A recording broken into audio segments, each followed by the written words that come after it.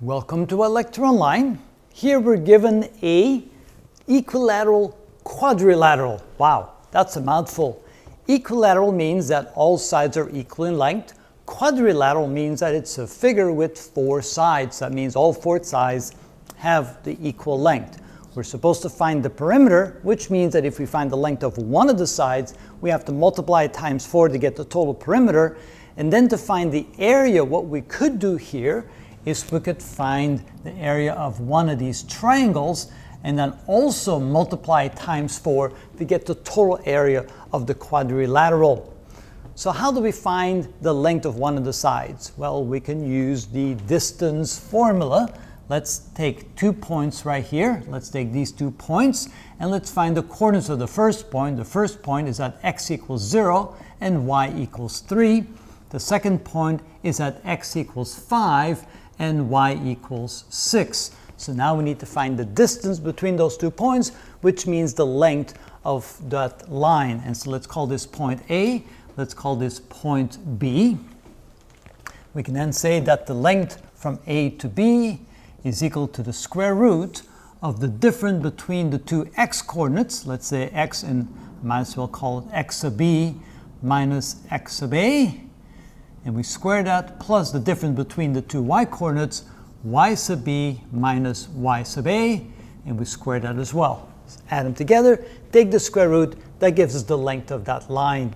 So this is equal to the square root of x sub b would be 5, x sub a would be 0. So it would be 5 minus 0 squared plus y sub b is 6, y sub a is 3. That would be 6 minus 3 quantity squared. So this is equal to the square root of 25. Actually, let me go ahead and simplify it first before I calculate it out. So it would be 5 squared plus 3 squared, which is equal to the square root of 25 plus 9, which is equal to the square root of 34. So that would be the length of one of the sides. Therefore, the perimeter would be equal to 4 times the length of one of the sides, which in this case is AB. So that's equal to 4 times the square root of 34. Now, if we want to find out what that is equal to, notice the square root of 36 is 6. So that would be a little bit less than 6. The square root of 25 is 5. So somewhere between 5 and 6 times 4. So it's going to be somewhere between 20 and 24. So let's find out if we're right. The square root of 34 times 4, that gives us 23.3 to the nearest one decimal place, 23.3, which is a reasonable result. So that would be the complete perimeter around the quadrilateral. Now we want to find the area, so we're going to find, let's see here, what we need to do is we need to find the area of this, and the area can be found by saying 1 half times the base